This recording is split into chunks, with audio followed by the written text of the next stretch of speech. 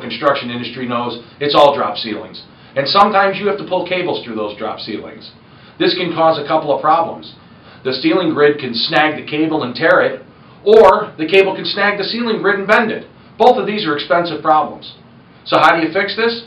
The Stingray. The easiest and most cost-effective way to put in a chase to protect not only your cables, but your ceiling grid. The Stingray is extremely simple to install. Simply slide it over the grid and lock it into place. And that's it. Now you have a chase that'll protect not only your ceiling, but your cables. How easy was that? And when you're finished, to remove the Stingray, simply pull the tail and slide it off.